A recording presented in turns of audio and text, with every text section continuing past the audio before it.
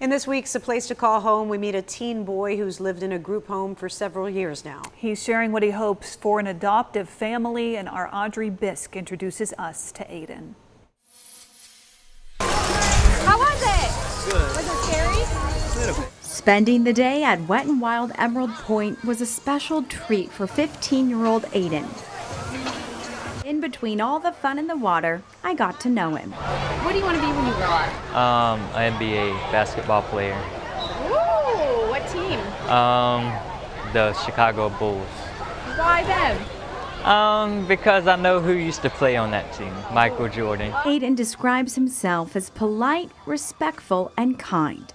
It's important to be kind because you never know when what people is going through. I really want a family that really loves me, and cares, and nurtures me and is kind to me.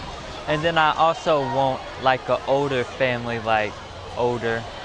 And I don't matter if it's a mom or a dad, but I really prefer a mom. He said he wants an adoptive family to help him overcome his past and give direction, especially while in high school.